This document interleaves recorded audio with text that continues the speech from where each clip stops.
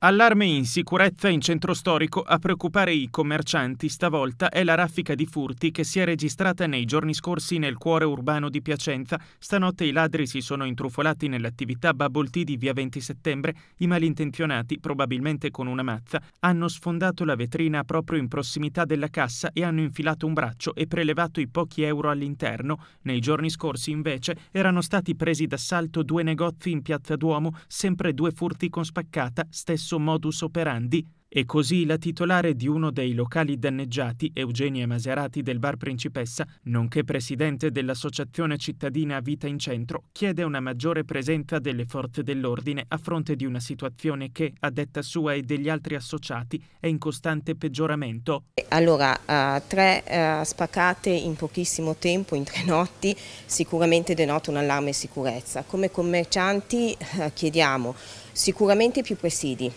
perché sarebbero un deterrente per queste bande che siano meno organizzate, io questo non lo so, eh, ci saranno gli inquirenti che indagheranno perché tutti abbiamo sporto denuncia e al tempo stesso telecamere che eh, possono controllare eh, le nostre attività. La situazione è in peggioramento negli ultimi mesi? Secondo me sì.